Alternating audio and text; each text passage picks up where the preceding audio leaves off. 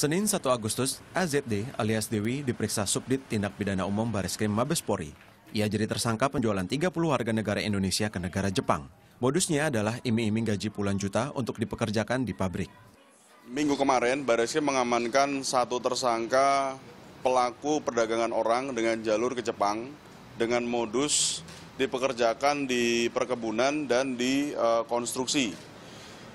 Semua korban uh, kita bisa selamatkan ada 30 korban. Masing-masing korban diminta biaya antara 40 sampai 90 juta. Secara bersamaan, penyidik juga memeriksa AR alias Vio, RHW alias Randy, dan AH alias Sarip. Ketiganya terjerat kasus penjualan 20 WNI ke Malaysia dengan iming-iming bekerja di restoran.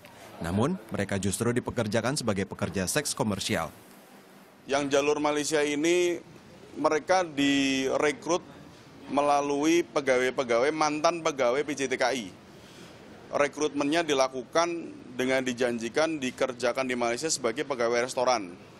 Namun begitu sampai di Malaysia mereka dijadikan sebagai pelacur atau PSK dan baru dibayar setelah dua bulan. Bareskrim masih mendalami keterlibatan oknum imigrasi yang membantu pembuatan paspor palsu untuk dinaikkan menjadi tersangka.